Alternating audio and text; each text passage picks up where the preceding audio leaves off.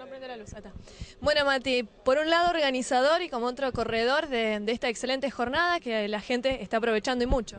Sí, ¿qué tal Meli? Buenas noches a todos. Eh, realmente sí, contento. Eh, di una mano a la organización y quería participar.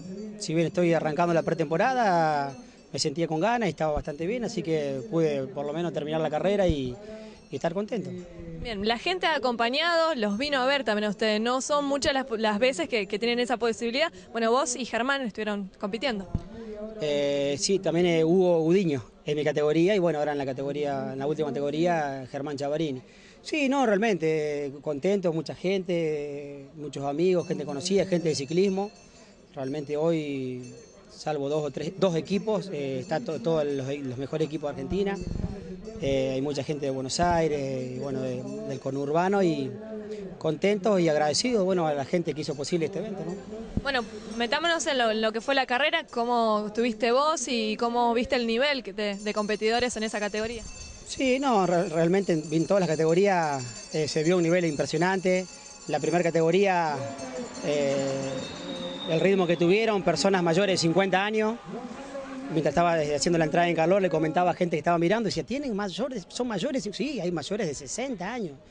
A un promedio de 40, 42 kilómetros, realmente es admirable la capacidad que tiene esta, esta persona. Y bueno, en mi categoría, mucha gente, buen nivel de, todo el país.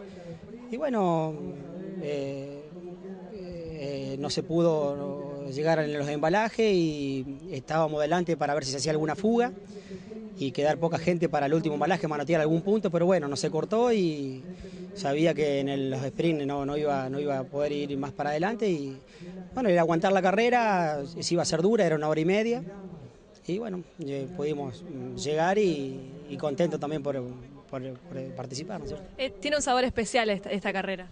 Sí, sí, ni hablar, ni hablar. Yo la tomo como una preparación, es una lástima que por ahí se haga eh, tan, tan cerquita del comienzo de nuestra temporada, pero bueno, eh, yo a mí me gusta correr, me gusta participar y estoy contento y te vuelvo a repetir, agradecido a toda la gente que vino. Está, mientras hacemos la nota de fondo están pasando la, la última categoría que son 73. Es increíble cuando pasan todos juntos. Sí, sí, ahí vienen, eh, ahí viene el embalaje.